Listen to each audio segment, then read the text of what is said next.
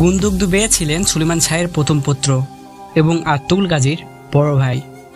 তার পরিবার মধ্য এশিয়া তুর্কি কাই উপজাতির অন্তর্গত, যারা মঙ্গলদের আক্রমণ থেকে বাঁচার জন্য বারোশো বিশের দশকে এনাতলায় চলে আসেন। গুন্দুজ বে সেলজান হাতুনকে বিয়ে করেছিলেন।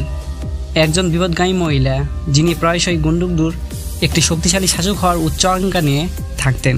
বারোশো সালে আতুল গাজী সেলজুক পলাতক শাহজাদা নুমান হালিমা সুলতান এবং তার ছোট ভাই ঈদকে উদ্ধার করেন। এ নিয়ে গুন্ডুকদু বে তার বাবা এবং ভাইয়ের সাথে কথা কাটাকাটি করেন। শাহজাদা নুমানকে সুলেমান শাহ কারাতইগার সালতানাতের কাছে হস্তান্তর করতে অস্বীকার করেন। তার উচ্চবিলাসী স্ত্রী, তার বিশ্বাসঘাতক চাচা এবং উপাচারী অবিশ্বাসী বন্ধুদের প্রভাবে গুন্ডুকডু বিশেষভাবে রাগন্ধিত হয়ে ওঠে।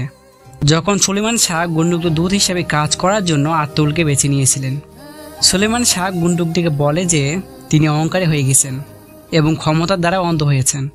যখন গুন্ডুকদু তার বাবাকে বলেছিলেন যে, কাই উপজাতির লোকেরা সমত হয়েছে যে, সুলিমান তার শাসন করার জন্য খুব বেশি বয়স হয়ে গিয়েছে। তখন সুলিমান গুন্দুকদুকে থাপ্পড় মারেন, যার ফলে গুন্দুকদু রেগে যায়। পরে তাকে শাস্তি হিসেবে ছোটোখাটো কাজ করার জন্য পাঠানো হয়েছিল এবং তিনি নিজেকে নম্ন করার সিদ্ধান্ত নিয়েছিলেন। গুন্ডুকদু শেষ পর্যন্ত সুলেমানের মৃত্যুর পর আত্মগুলির সাথে অ্যানাতোলিয়ায় ভ্রমণের পরিবর্তে সিরিয়ায় থাকার জন্য উপজাতির একটি অংশকে নেতৃত্ব দেওয়ার ঘোষণা করেন। যখন আত্মগুলো এবং তার গৌত অ্যানাতোলিয়ায় মঙ্গল তুর্কি সীমান্তে বসতি স্থাপন করেছিলেন, তখন গুন্ডুকদু এবং তার গোত্র সিরিয়া ইনখানিদ অঞ্চলে বসতি স্থাপন করেছিলেন। তো বন্ধুরা, এই ছিল আজকের ভিডিও। ভিডিওটি যদি ভালো লাগে, তাহলে অবশ্যই লাইক, কমেন্ট, সাবস্ক্রাইব করে সঙ্গে থাকবে। সকলে ভালো থাকবে, সুস্থ থাকবে। আল্লাহ হাফেজ।